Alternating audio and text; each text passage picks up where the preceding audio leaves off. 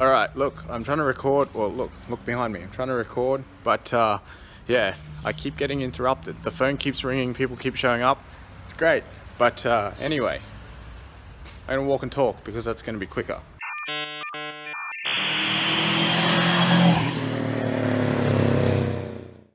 Now look, my intention has always been to give away free content and make the content for free and, you know, not charge anything for it. You guys want stuff for free, right? I, I like free stuff. As a scrapyard techie, everything's got to be either cheap or free.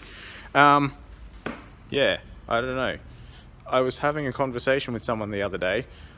I didn't get their permission to name them, so I won't name them. But uh, if you're out there and you're listening, you know who you are.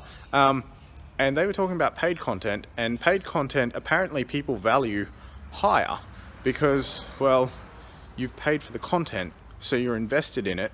Um, so you have more of an obligation to do something with it.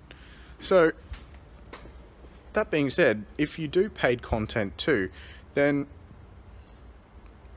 I guess you've got more money to put into actually creating the content and advertising the content and I know you've just got more money to make it better. I didn't think of that until just then. But anyway, I don't know. Tell me, what do you think? Free content or paid content? What do you prefer? What do you think's better and why?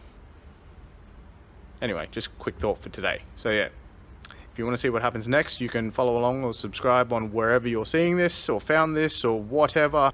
Thanks. Bye.